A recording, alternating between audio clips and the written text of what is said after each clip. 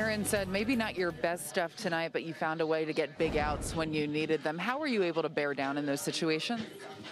Yeah, it was definitely yeah a rough night. Uh, I was grinding through the whole five innings there, you know, trying to make some pitches. My slider, I feel like it wasn't there when I needed, so I relied a lot on my changeup, and they were they were you know they, they noticed that. So yeah, I make you know good pitches in big situation, and I was able to get out of that inning. What's a night like this night like when you have to grind to get every out? Excuse me? What is a night like this like on the mound when you have to grind to get every out, it seems? No, it's tough. It's tough. But, you know, my mentality was, you know, uh, give my team a chance to win, you know, keep the game close. I know when I don't have my best stuff, I can get, I can still get through, you know, through a lineup, you know.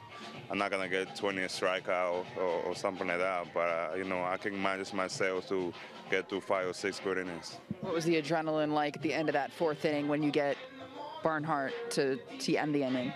It was really huge, you know, for us. You know, uh, we got bases loaded there. You know, anything you can happen in that situation.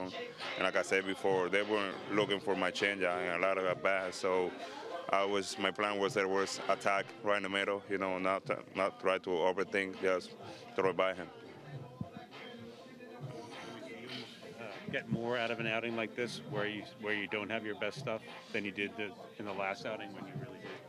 I mean, of course. I mean, eh, eh, this kind of outing when you don't have your, your stuff, you have to rely on something else. It can be your, your fastball, or it can be you know your change. Yeah, I throw a couple of good cutters.